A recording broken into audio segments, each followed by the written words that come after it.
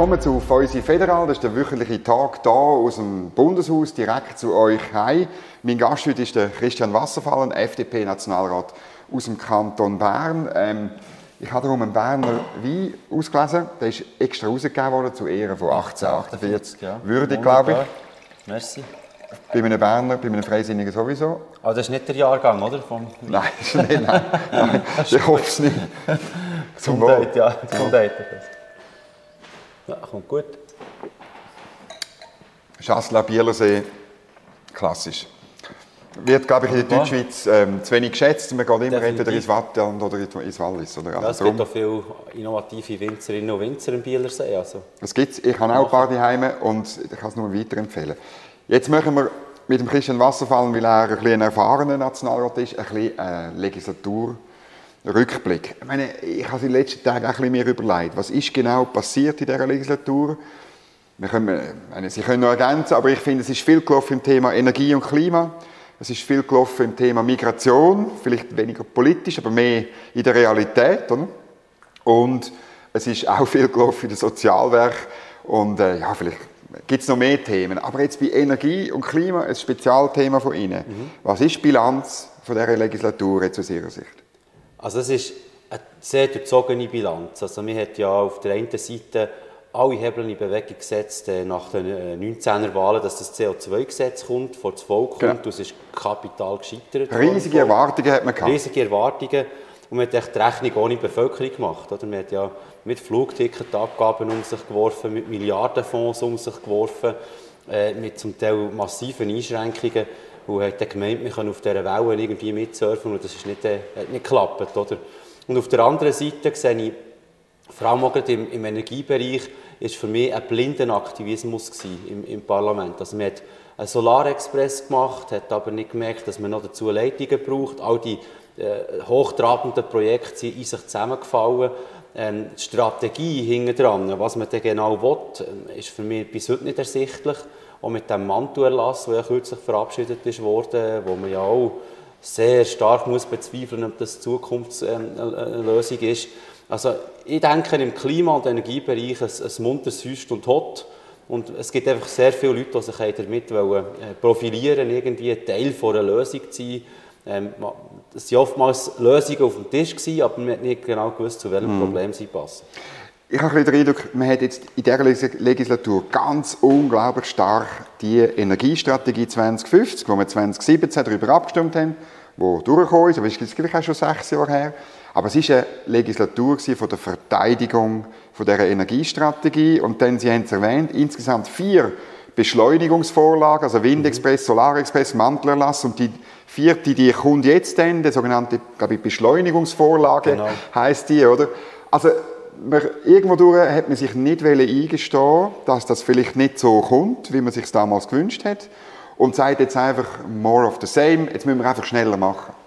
Ja, das ist, in dieser Geschwindigkeit drin hat man wirklich das Handwerk vergessen. Oder? Man hat wirklich das Handwerk vergessen, dass man bei solchen grossen, langfristigen Investitionen eigentlich einen Rahmen muss schaffen muss, der für lange Zeit gilt. Oder? Was hat man gemacht? Eigentlich das Gegenteil von dem. Man hat gesagt, bis im Jahr 26 die Projekte bis zu 2 Terawattstunden Solar, dort kann man nachher entsprechend ähm, investieren und äh, es werden auch gewisse Rechte ausgehebelt durch das, oder? Genau. Und das ist eigentlich genau das Falsche, was man macht, oder?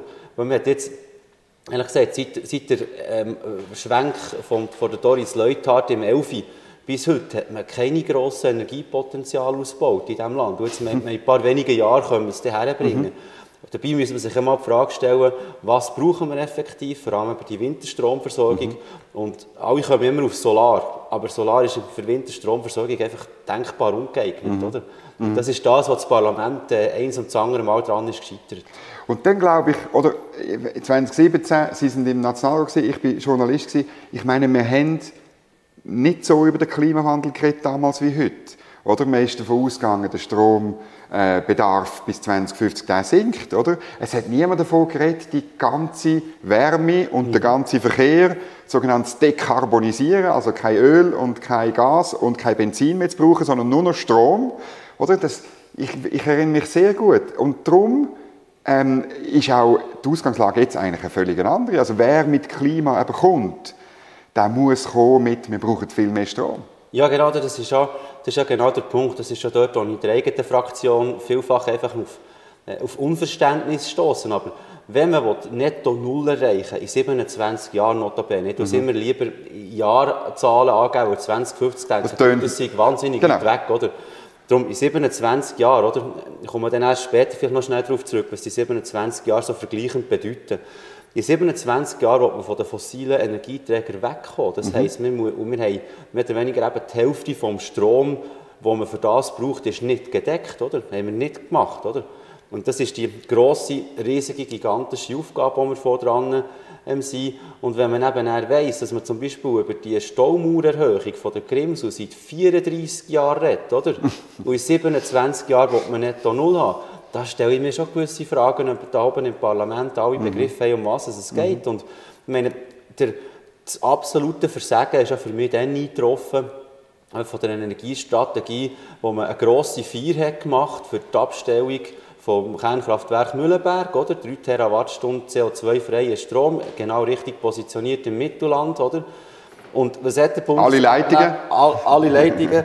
Was hat der Bundesrat ein paar Jahre später gemacht? 450 Millionen äh, per Notkredit in ein Ölkraftwerk in Birr Ja. Und da sollen wir mal noch eine Strategie erklären von Klimapolitik und Energieversorgungssicherheit. Es gibt es nicht. Also eben die Energiestrategie muss man gar nicht darüber diskutieren, mhm. die ist Geschichte, funktioniert nicht. Ja, aber die, die Mehrheiten hat es nicht gegeben, um irgendwie, es hat, es hat immer wieder so Motionen mhm. gegeben, man soll doch die Energiestrategie überarbeiten. Es ist ja nicht, mhm. es ist ja nicht dahergekommen jetzt als komplett, äh, das ist alles Blödsinn und so, sondern einfach im Sinne von im Lichte des Strombedarfs, wo wir werden haben, wenn wir dekarbonisieren, wenn wir etwas fürs Klima machen wollen, tun wir doch das überarbeiten und schauen, was rauskommt. Und das ist wirklich, diesbezüglich ist das Parlament nicht in der Lage, in dieser Legislatur irgendwie den Fahrplan oder den Wegweiser zu einer neuen Energiestrategie zu stellen. Ja, ich teile die Meinung. Oder? Es ist ähm, eben selbst bei mit in der eigenen Fraktion wahnsinnig zäh, einmal das Neubauverbot von Kernkraftwerken über Bord zu werfen. Da haben wir noch lange keins gebaut. Man muss noch eine Rahmenbewilligung ja, ja. haben, über das muss man noch abstimmen etc. Aber mal die ersten Schritte machen und mal eingestehen, dass es ohne Kernenergie nicht wird gehen. Mhm. Wir werden netto null und die Energieversorgung CO2 frei oder neutral nicht können bereitstellen in diesem Land ohne neue Kernkraftwerke. Mhm. Punkt. Das, das, das, das, wenn man einfach einigermaßen rechnen kann, dann sieht man das. Mhm. Und das Parlament probiert jetzt immer noch wieder so im Klein-Klein möglichst alle einen Subventionstopf herzuhängen und vergisst immer die Frage, das ist ein Gesamtsystem, das man braucht, das aus Leitungen besteht, aus Speicher besteht, aus, aus, aus aktiven Produktionsanlagen besteht, die sogar eine außenpolitische Komponente hat, eben Stichwort Stromhandelsabkommen, wo eine Strommarktliberalisierung würde auch voraussetzen.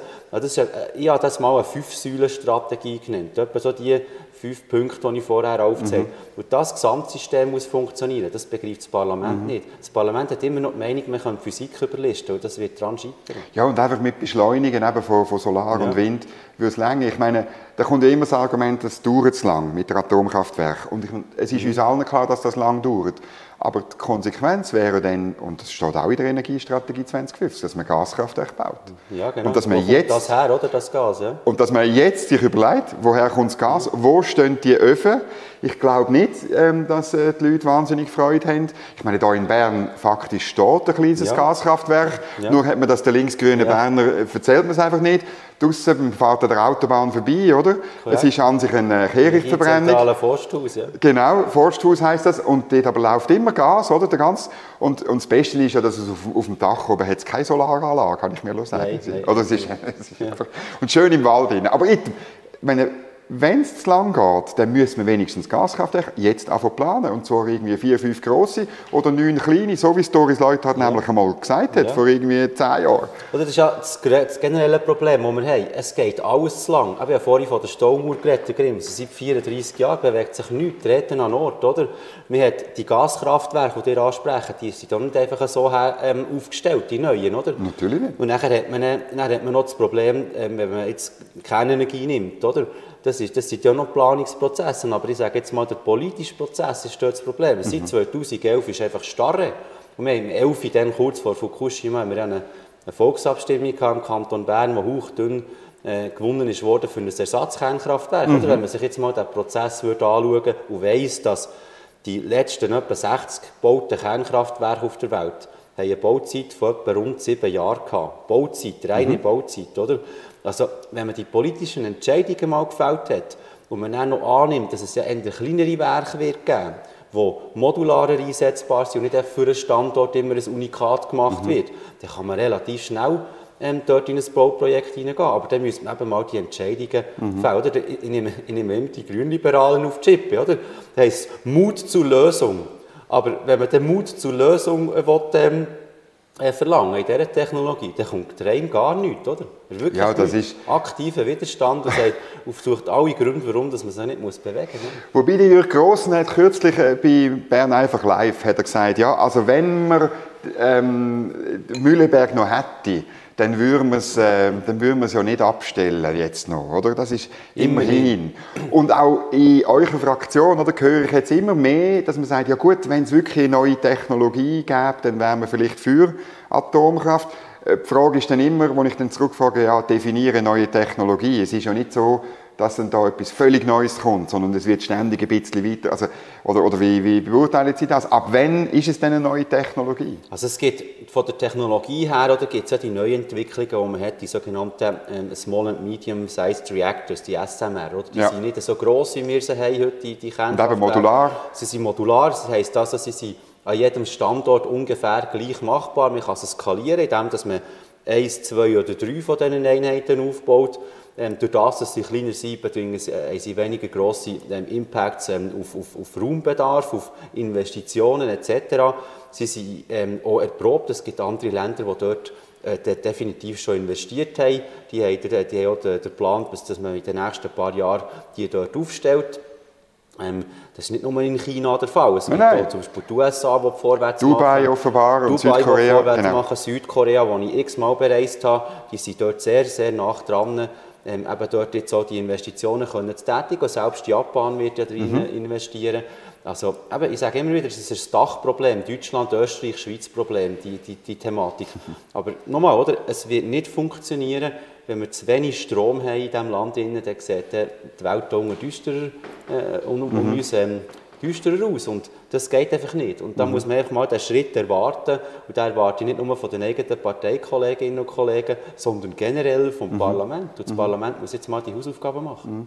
Ich finde einfach, man muss die Klimafrage und, und die Energiefrage miteinander verknüpfen. Oder? Ich mhm. finde wirklich, ähm, ich habe da bei Fäuse Federal auch mit Grünen diskutiert. Oder? Und das, von dem haben sie richtig ein bisschen Angst. Mhm. Weil man kann wirklich sagen, wer es mit dem Klima ernst meint, der muss im Energie- und zwar spezifisch im Strombereich Bereich, muss der mit klaren Konzept und mit grossen Öfen, ich zitiere immer gerne Christoph Brand, Axpo-Chef, es braucht grosse Öfen, die ja. einfach Strom liefern und zwar en masse. Sonst, also alle die Ideen mit, mit den Batterien von den Autos irgendwo hinzufahren, und dann kann man doch nicht fahren, weil es jetzt irgendwie gerade irgendwie äh, der Strom von einem Haus ähm, braucht, abgezogen wird aus der Autobatterie. Das ist einfach Quatsch. Wenn, es muss Strom im Überfluss da sein, damit er günstig ist und damit er immer da ist. ist eigentlich, und, und irgendwie die bürgerliche Seite das würde schaffen, Klima- und Stromfrage miteinander zu verknüpfen, hat man doch eine gute Position für die nächste Legislatur. Das ist entscheidend. Und ich glaube, auch die Bevölkerung sieht das langsam, oder? dass es so nicht weitergeht. Und all die, die jetzt sagen,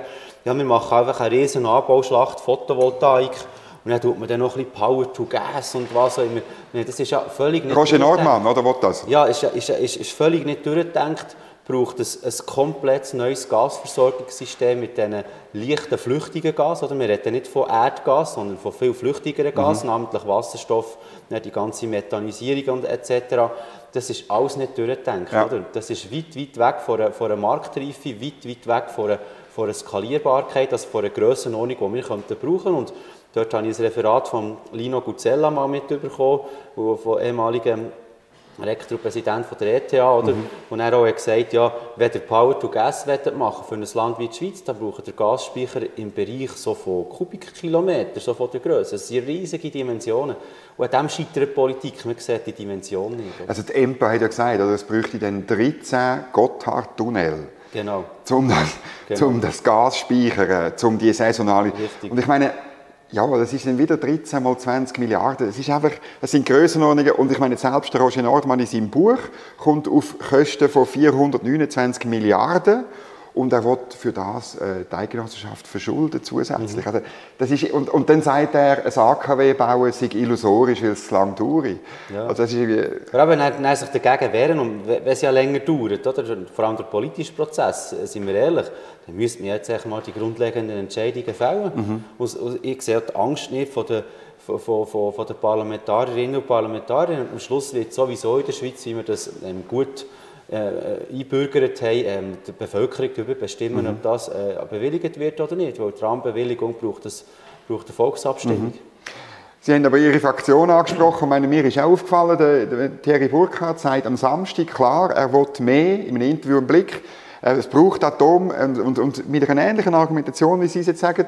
Und in der anderen Woche, ich glaube, Sie sind einer von den wenigen die dann so einer Motion mhm. zugestimmt haben. Ich meine, was läuft in der FDP falsch, dass das nicht funktioniert, irgendwie, dass man auch ja, das durchzieht, weil der Platz ist frei zwischen der SVP und, und Mitte links. Ja, ja und, und wenn man noch weiss, dass eigentlich die, also die, die Unterstützer, die Anhänger von der FDP, von den Freisinnigen, eigentlich überdurchschnittlich genau. Ja sagen zu, zu, zu neuen Technologien, ganz generell, dann ist es eigentlich eine, eine absolute No-Brainer-Position, dass man jetzt dort den Schritt mal macht. Und was dort ist schief gelaufen, ja, ähm, ich nehme das verschuldet teilweise auf mich. Man muss halt, man muss halt vielleicht bei diesen äh, Listen, wo es hunderte von Vorstößen gibt, danach, oder über die ganze Session, dann muss man halt wirklich jeden einzeln anschauen und immer und immer wieder darauf herumreiten, mhm. dass man jetzt dort halt jetzt von der Positionierung her den, mhm. ähm, annimmt. Punkt. Oder? Da muss man die Hausaufgaben besser machen. Mhm. Das muss man selbstkritisch sagen.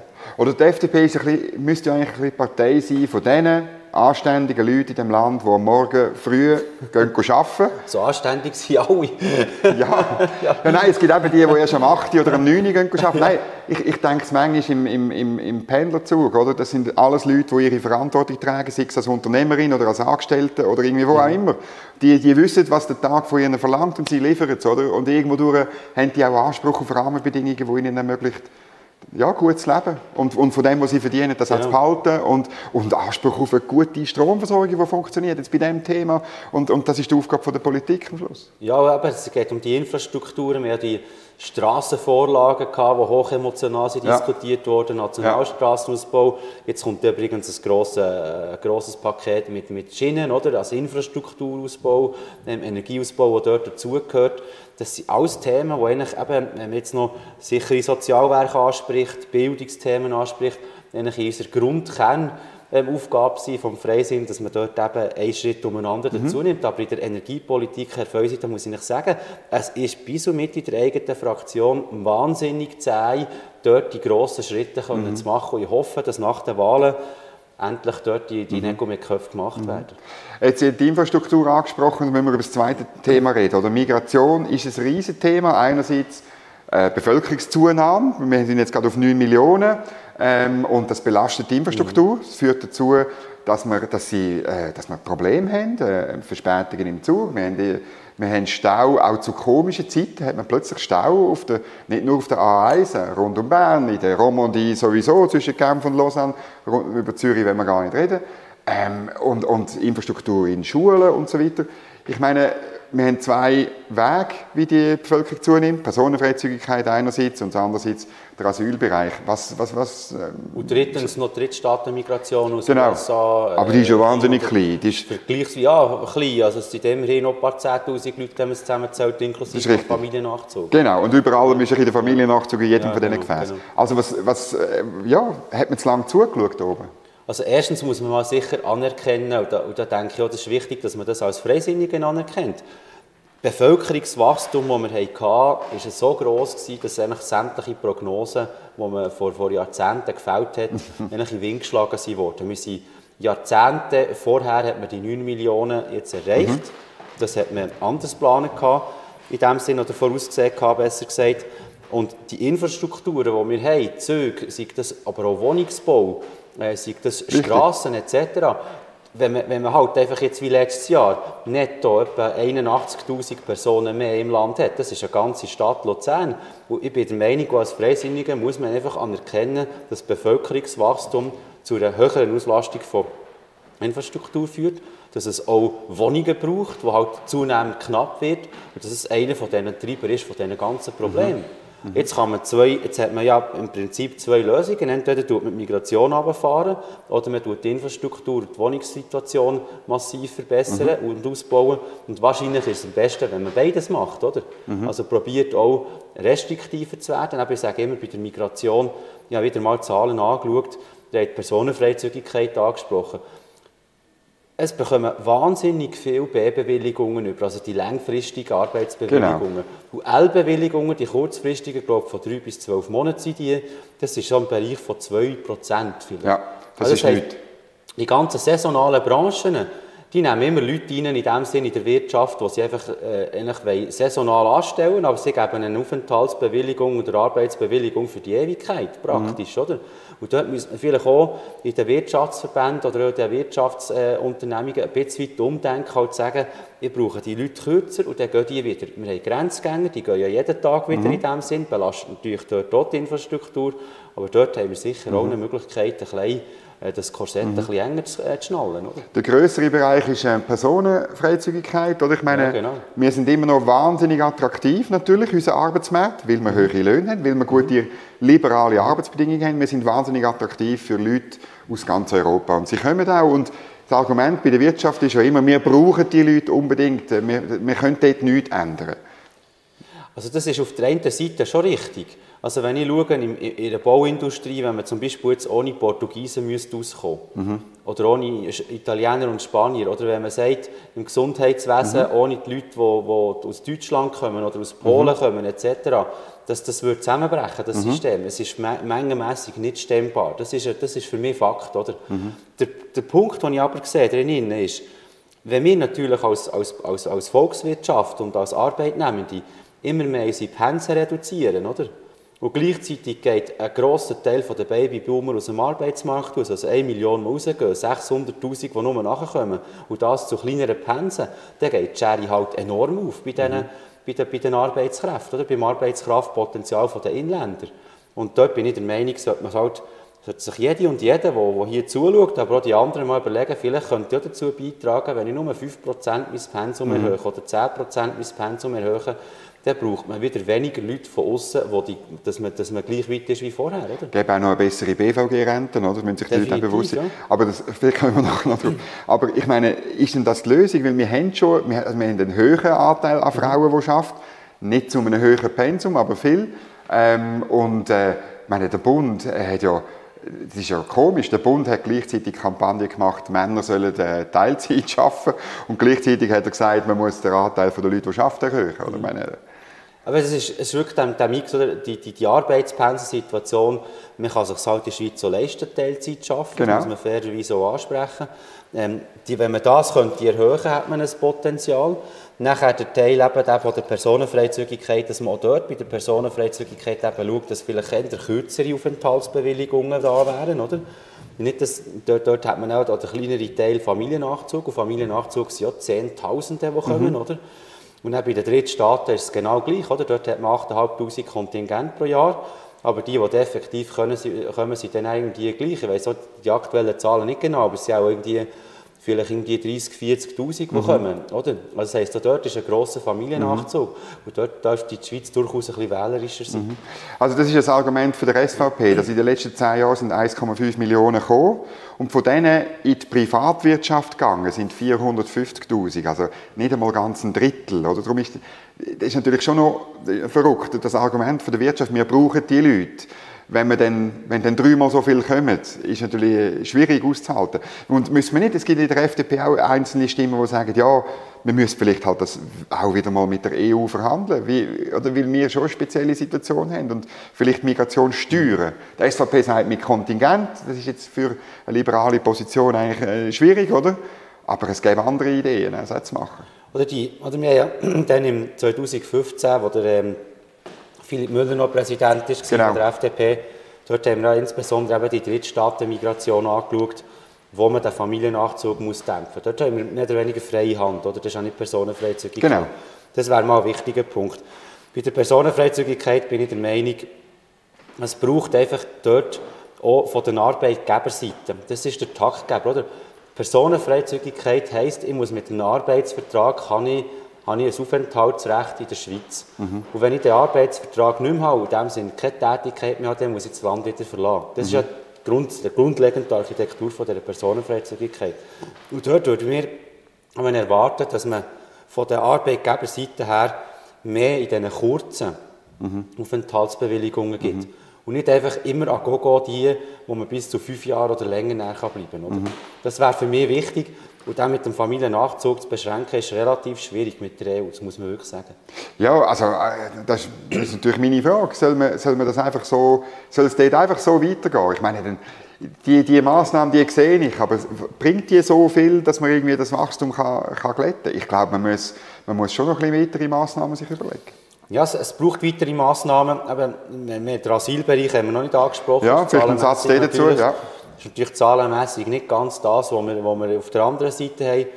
Aber auch dort ist es entscheidend wichtig, es gibt immer mehr, die aus diesen Regionen auch tätig waren oder kommen. Wichtig ist einfach, dass man zum Beispiel Afrika, eben Eritrea, bin ich ja dann fünf Tage mhm. auf dieser inoffiziellen Reise mit anderen Parlamentariern, dass man nicht einfach an Gogo die Asyl ähm, positiv fällt. Mhm. Und wichtig ist dort einfach auch der, der, der, das Dublin-Abkommen. Oder die SVP kann schon sagen, Dublin ist gescheitert. Aber dank Dublin haben wir Zehntausende von Fällen wieder mhm. können an Italien oder Spanien oder Frankreich oder wer noch immer zurückgeben als Erstaufnahmeland, wo, wo sie mhm. die Prozedur nicht korrekt haben gemacht und haben die Fälle nicht selber in der Schweiz mhm. müssen machen. Also wir irgendwie, weißt doch auch nicht, der Saldo ist glaube ich irgendwie so 40, 50, 60'000 Personen man wieder können zurückgeben und nur etwa so 8.000 bis 10'000 hätte man wirklich selber müssen mhm. machen oder? Wenn man Dublin nicht hätte, dann würde die Schweiz grauenhaft nochmal in, in, äh, in, in Bedrängnis kommen. Gleichzeitig ähm, sagt die SVP nicht ganz zu Unrecht. Ich meine, das europäische System, das ist wirklich ein bisschen am Abgrund. Italien nimmt sie nicht mehr zurück. Ähm, man sieht, wie, wie der Ansturm mhm. ist, sowohl im Osten wie im Süden. Ähm, und, und Frau Bohm-Schneider, die Bundesrätin, die zuständig ist, sagt einfach, ja, wir müssen einfach besser mit den europäischen Nachbarn zusammenarbeiten. Was machen wir denn, wenn das wirklich nicht mehr funktioniert? Das ist eine gute Frage. Weil ich denke, Frau Bohm-Schneider hat eben dort nichts auf der Hand. Und darum ist sie leicht nervös geworden, wo man gesehen oder sie hat ja mal, ganz am Anfang vor der Amtszeit mal vorgeschlagen, wir können mehr Kontingenzflüchtlinge reinnehmen. Genau. Oder wir hatten die Ukraine schon gehabt, wir hatten Afghanistan relativ viel, Eritreer sind schon viel da. Und man hat einfach keinen Platz mehr. Und sie kommt dann noch, man muss noch mehr nehmen. Oder? Mhm. Und da hat sie, glaube ich, schon einen Lerneffekt äh, jetzt gehabt, sie kommt nicht mehr dass mit das nicht geht, weil die Kantone unisono gesagt sorry, wir können das nicht handeln, das ja. geht nicht. Oder? Ja. Und der wichtige Teil, den sie aber schon anspricht, ist die, die, die europäische Zusammenarbeit, vor allem mit einem, gerade mit Italien. Das ist, das ist mega wichtig. Und dort habe ich einfach den Eindruck, muss sie mit ihrer eigenen Partei mal hart ins Gericht gehen. Weil wer sind die, die zum Beispiel gegen Frontex das Referendum ergriffen haben? Also die, die, die, die, die Grenzpolizei in dem Sinn von der Europäischen mhm. Union. Wo wir finanzieren. Wo wir mitfinanzieren. Mhm. Das war links-grün. Die haben dort Zetter Mordio geschrauen, ja, Frontex und man sieht ja heute noch vergilbte Fähnchen, von sonnenausbleichte Fähnchen, wenn man hier durch, durch, die Stadt Bern läuft. Aber zum Glück gibt es dort eine Behörde, die schaut, dass nicht einfach illegale Grenzübertritte mhm. passieren. Weil jede Person, die dann hierher kommt, mhm. Lampedusa lässt grüßen, die bringen den kaum mehr wieder weg. Oder? Mhm. Und dort muss man halt auch schon sagen, ähm, der Teil Grenzschutz ist enorm wichtig. Und die Schweiz muss dort auch genügend finanzieren, dass eben Staaten wie Italien aber auch Staaten wie zum Beispiel Spanien und Frankreich in der Lage sind, die, die Aussengrenzen mhm. zu schützen. Mhm. Das ist wahnsinnig wichtig. Gut, eine grosse Diskussion ist, wie dass man abgewiesene Asylbewerber zurückbringt. Wir haben 63 Rückschaffungsabkommen. Äh, gewisse funktionieren gut, die mhm. Mehrheit funktioniert aber nicht gut. Dort äh, ist die Zahl sehr klein oder null. Oder? Ich meine, müssen wir nicht, äh, oder Frau Brom-Schneider, das ist eine Exekutivgeschichte, sie müsste dafür sorgen, dass das besser funktioniert, das System, oder nicht? Ja, definitiv. Also die, die Rückübernahmeabkommen sind nur so gut, wie sie von beiden Seiten gelebt werden. Oder? Und dort haben wir ja natürlich bei instabilen Staaten, wo plötzlich eine Regierung wieder weg ist und dann sagt die neue Regierung, ja, das ist mit der alten Regierung verhandelt worden, das geht uns nicht an. Dann muss man wieder auf Feld 1 anfangen. Oder? Mhm. Und dann in Eritrea äh, äh, ist ja das, die, die Diskussion noch da gewesen, oder? Kann man irgendeine Migrationspartnerschaft machen, also gewisse Modalitäten für Migration festlegen, kann man ein Rückübernahmeabkommen machen, dort hat man immer wahnsinnig zaghaft argumentiert, dort war Frau Somaruga noch im Amt bei mhm. EJPD, ja, die, die, das Rückübernahmeabkommen, das, ist, das wird kaum möglich sein. Und das ist tatsächlich sehr schwierig, wenn man denen nicht auf der See rumknäult und die quasi prügelt, äh, dass sie ihre Leute wieder zurücknehmen. Und hochproblematisch in den Regionen, wo die Leute natürlich herkommen, viele sind sogenannte Sans-Papier, gar keine Pässe mehr. Dann sagt natürlich der Staat XY, das ist gar nicht mein Staatsbürger, oder? Mhm. Warum soll ich den zurücknehmen? Mhm. Ich weiß nicht, ob das mein Staatsbürger mhm. ist. Das ist natürlich auch eine Schwierigkeit in dem, in dem Vollzug von dem Ganzen. Aber die Tatsache ist, sie muss sich wirklich massiv dafür einsetzen, dass Dublin funktioniert und dass man auch die Rückübernahmeabkommen mhm. hat mit den anderen Staaten und so durchziehen. Müssen wir nicht die Entwicklungshilfe viel mehr an dem ausrichten? Ich meine, wir, also bei, bei Eritrea machen wir nicht viel Entwicklungshilfe, mhm. muss man jetzt fairerweise ja. sagen. Aber es gibt andere Länder, gerade im Maghreb oder so, wo wir sehr viel investieren und trotzdem die, Rück, äh, die Rückschaffung nicht möglich ist. Oder ja, nicht gelebt wird. Ja. Vielleicht, ja. Das war noch, noch eine interessante Diskussion. Jetzt gibt es immer mehr grosse Stiftungen, äh, wie eine äh, Jakobs Foundation oder Roger Federer Foundation, die sich sehr kritisch äußern in Bezug auf Entwicklungshilfe, die direkt in den Ländern gemacht wird, die mhm. Infrastrukturen rein. Wo sie sagen, hey, die lieber in Ausbildung in die Bildung von den Leuten, von den Leuten investieren, als Geld abschicken und Straßen bauen oder Wasserversorgung. Ich finde auch liberale Rahmenbedingungen, genau. aber nicht dem Staat die Aufgaben Dort hat man übernehmen. natürlich schon eine Möglichkeit, nachher mit der Entwicklungshilfe gewisse Prioritäten mhm. zu setzen und zu sagen, schaut, wenn ihr das nicht wollt, dann, dann, dann sind wir draußen, oder? Und da bin ich schon der Auffassung, mhm. ähm, äh, auf der einen Seite, dass man dort strenger muss werden und auf der anderen Seite auch in dem Sinne die Asildestination Schweiz so unattraktiv machen wie möglich. Immer unter der Prämisse, wenn jemand an Leib und Leben bedroht ist, eben Stichwort Ukraine, dann gibt es einen Schutz. Aber mhm. sobald die Situation sich beruhigt hat in diesem Land und die Leute sicher wieder zurück können, dann muss man die mhm. Leute sagen, ihr habt hier keine Aufenthaltsbewilligung mehr, oder? Mhm. Und das ist bei Afrika eigentlich, das sind fast, fast ausschließlich ähm, Wirtschaftsmigranten. Dort hat niemand in dem Sinne schon Leib und Leben bedroht. Ganz wenige schon, mhm. ja, muss man fairerweise sagen, aber die, die wenigsten, das ist eine eine Wirtschaftsmigration und dort darf man einfach nicht, nicht mehr so blauäugig sein wie damals bei den Eritreern. Mhm. Das war falsch. Gewesen. Jetzt noch eine Bilanz in Sachen Sozialwerk. Also AHV, ähm, zweite Säule BVG, äh, IVG haben wir nicht viel geredet, äh, aber es ist immer noch irgendwie 11 oder 12 Milliarden Schulden, die die IV hat. Dann das Gesundheitswesen. Was ist ein Und es ist natürlich automatisch auch ein bisschen eine Bilanz über den Alain Berset, der Ende Jahr äh, sein, sein Amt verlässt. Was ist eure Zusammenfassung von den letzten vier oder zwölf Jahren, wenn man also wenn man bei den Sozialwerken anfängt, die erste Säule AHV, ist es einmal schön, dass man äh, eine Reform wieder durchgebracht hat von der Bevölkerung. Mhm. Aber nicht die, die der Herr Berset Nicht die, die der, Herr Berset wollen, sondern eine andere, die halt ein bisschen bürgerlich geprägt ist, ja. insbesondere die Anpassung vom äh, Rentenalter von Mann und Frau. Mhm. Das ist, die, glaube die erste äh, AV-Revision, die er durchgebracht hat seit den 70, Ende 70er genau. Jahren, 77 oder 79, ja. irgendwie dort umeinander. Immerhin, aber das ist keine definitive Lösung. Dann hat man dort äh, Initiativen auf dem Tisch. Die eine ist Jungfreisinnig, FDP, äh, von, wo man das Referenzalter immer der Lebenserwartung würde anpassen würde, fände ich nach wie vor eine gute Idee, weil es inhärent einfach würde immer der Realitäten mhm. äh, das Fondsvermögen in dem Sinn anpassen und das man kann ausgeben kann. Ähm, und die 13. AV-Rente von der, von der SP, das ist reiner Populismus, überhaupt nicht finanzierbar. Aber eben AV-seitig ist dort jetzt mal äh, der Garten ein bisschen weit abgesteckt. Wir machen auch keine Gegenvorschläge gross. Mhm. BVG, zweite Säule, ähm, bin ich absolut, wäre ich absolut überrascht, wenn die Reform durch würde kommen bei der Bevölkerung, muss ich nicht ganz ehrlich sagen. Wieso? Also die Referenzsatzsenkung, Referenzsatz von 6,8 auf 6,0 mit dieser äh, grossen Übergangsgeneration von 15 Jahren, mit diesen doch relativ ausweit, also ausgeweiteten Übergangszahlungen, die man denen gibt. Das kostet halt schon recht viel. Ich habe dem zugestimmt, einfach, dass man mal den Referenzsatz oben runterkommt. Mhm. Ähm, auf der anderen Seite gibt es halt einen gewissen Teil von den Übergangsgenerationen, der profitiert. Ja. Mhm. Andere profitieren weniger. Ein Mehrwert, den ich auch drinnen würde sehen, ist die tiefe Eintrittsschwelle und vor allem auch die Glättung in dem Sinne über die Jahre, ähm, was man da einzahlt. Also nicht, dass die älteren Arbeitgeber immer mehr BVG-Beiträge zahlen. Aber man ist ja wahnsinnig den Linksgrünen entgegengekommen, oder? Mit all diesen Kompromissen, ja. wo alle äh, Millionen, wenn man es ja. über die Zeit durchrechnet, Milliarden kostet, oder?